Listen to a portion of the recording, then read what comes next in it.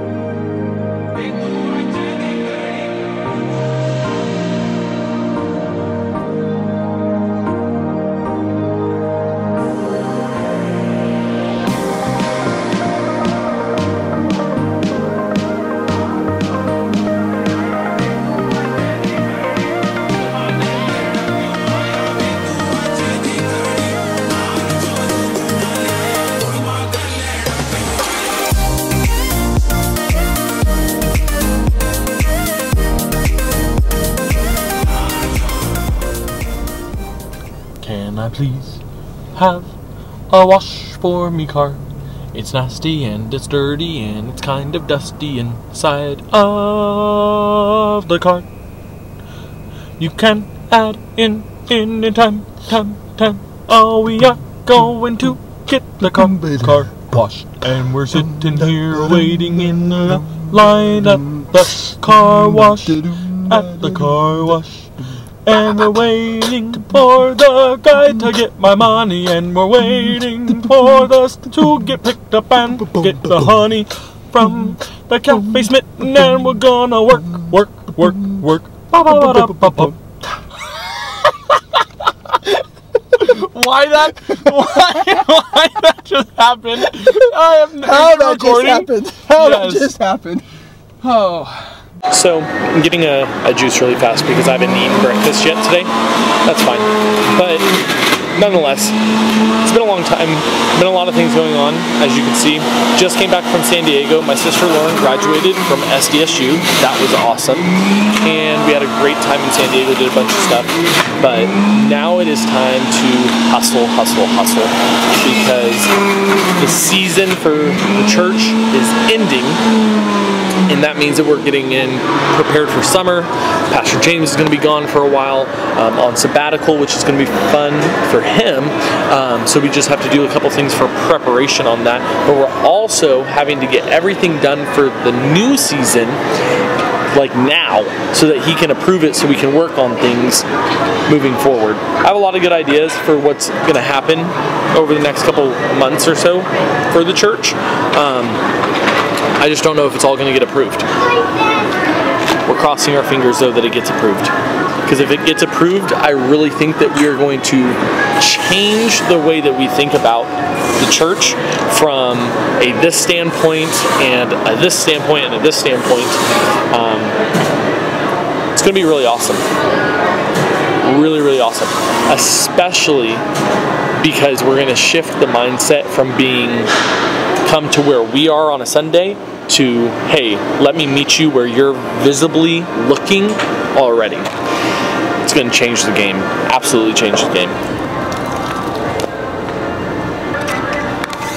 Thank you so much. Lately, I've become obsessed with with fresh pressed juice.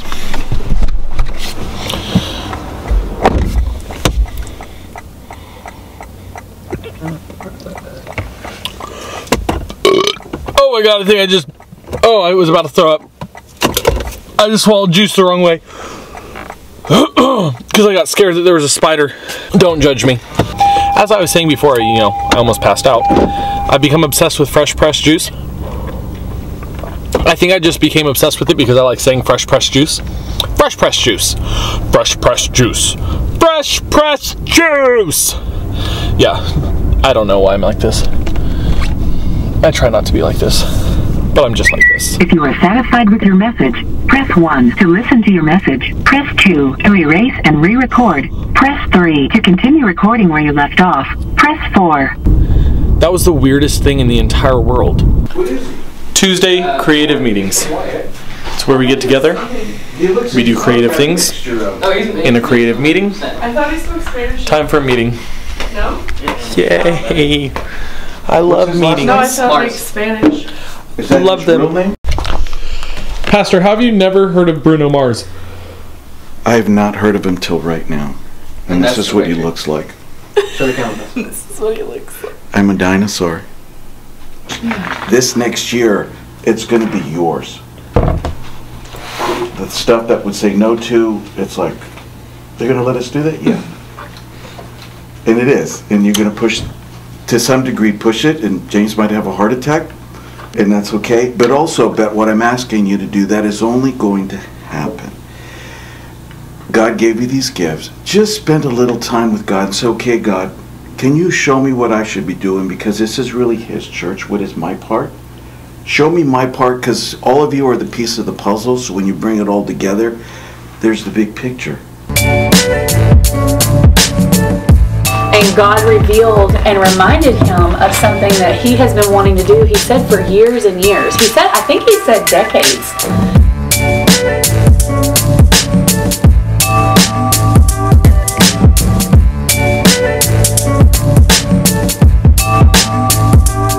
Let's go get lunch.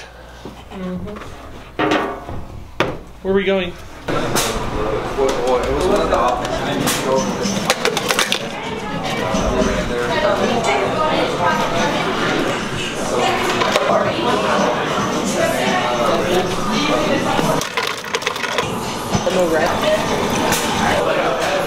So now, uh, back to the office. Yeah. So we try and do work Just like in we the do the office, Prime because you can't order jokes off of them. but this one And this one, and this one, and this one. and that one Hi, these are jokes, but they're not Prime one? eligible. and that one. What do you call jokes with bad delivery? What? Not Prime eligible. You know, why overcomplicate things? You know? I put Life of Elmo the Turtle. Oh, and this is why nothing ever gets done in the office. Oh, Pretty much that I just happens wasted the last 30 minutes. all day.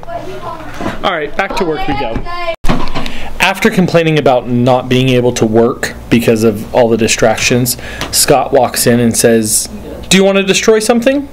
So we're going to go to destroy something. Let's go. I gotta cut through the back of a cabinet. It's about uh, that thick of wood.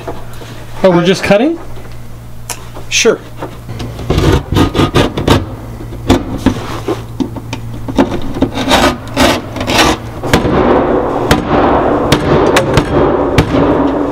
There we go. Here, just kick it. No, here. No. Somebody keep hammering.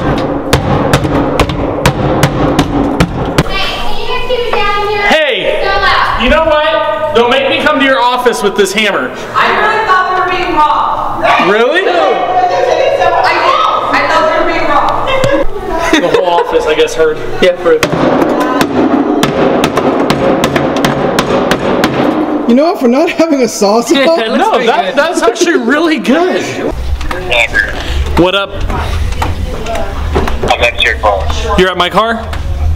Yeah, Okay, I'm on the other side of campus. Stand by. I'm walking there right now. no worries. All right. Your Snapchat as soon as you hang up. All right. Bye. So Allen is here. Allen's the man. Pastor, what are you doing? What are you doing? What do you mean? What am I doing? What are you doing? I'm vlogging. What are you doing? I'm checking on Scott. You've Yeah. made a lot of racket. all that racket that we were making. Yeah, apparently the whole office. Oh my gosh, it was loud. Are you filming? What I am. The vlog is back, baby. and we back. And we back. And we back. And we back. So Allen is here. Allen's the homie. Super, super talented guy. How are you? I'm good. Good to see you. Good to see you too. Allen! What it do? What's up, How you doing? Good. Check You your got in and out? Check your Snapchat right now. All right, I'll check the Snapchat. How's it going, vlog? Allen about to wreck it for the vlog. Uh. about to take off. Uh. Here we about to go. Me and Robert. about to get the dough. You already know. Oh. Not on the show. No. Give him some mo. Oh! flow after flow. Oh! so his first job in life was not a rapper. Um, he's an amazing marketer, not a great rapper. Yo, seriously though, uh, in like 10 years, I've low-key been studying music.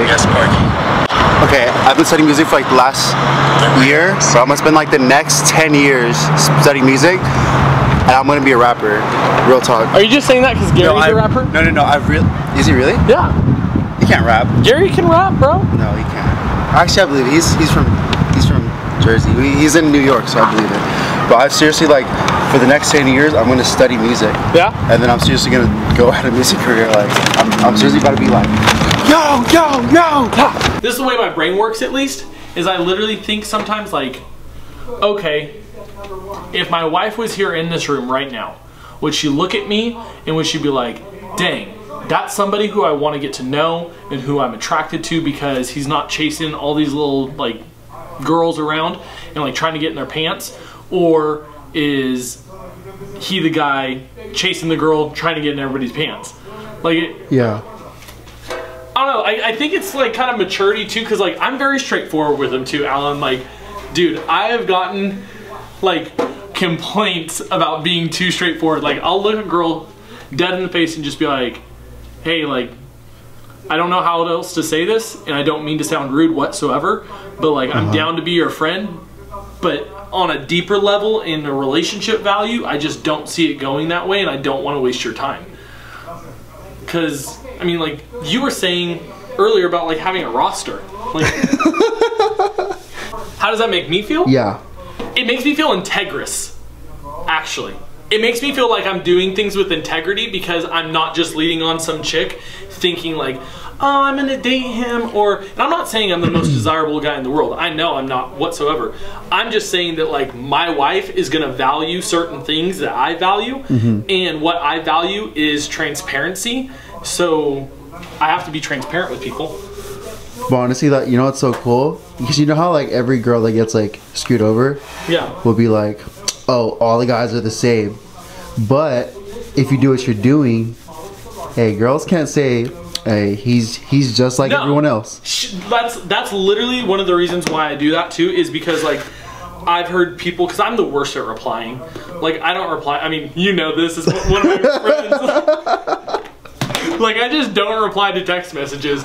I don't know. Some people just can't stand it. Some people just cannot stand. Like for me, relationship is this: it's communication and like just understanding expectations. Like it's very Simple. simple. So Allen just challenged me to pool.